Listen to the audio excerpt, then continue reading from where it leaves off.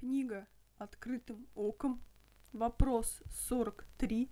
Тема «Обращение ко Христу».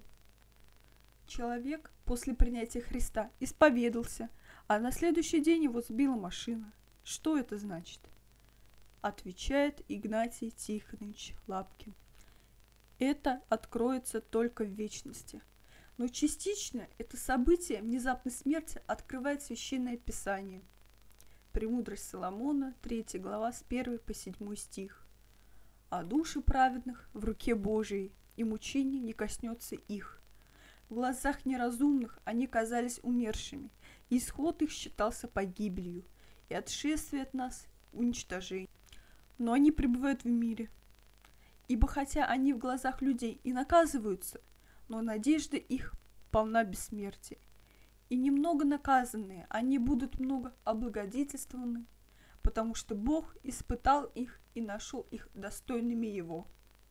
Он испытал их, как золото в горниле, и принял их, как жертву всесовершенству. Премудрость Соломона, 4 глава, 18 стих. Про, а праведник, если и равновременно умрет, будет в покое, ибо не в долговечности честная старость, и не числом лет измеряется. Мудрость есть седина для людей, и беспорочная жизнь – возраст старости.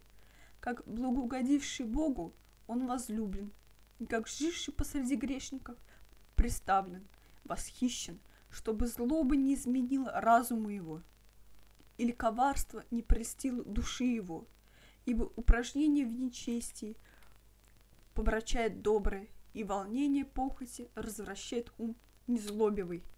Достигнув совершенства в короткое время, он исполнил долгие лета, ибо душа его была угодна Господу, потому что ускорил он из среды нечестия. А люди видели это и не помнили, даже не подумали о том, что благодать и милость со святыми его, и помышления об избранных его. Праведник, умирая, осудишь живых нечестивых, и скоро достигшая совершенства юность, долголетную старость неправедного. Ибо они увидят кончину мудрого и не поймут, что Господь определил о нем и для чего поставил его безопасность. Они увидят и уничтожат его, но Господь посмеется им.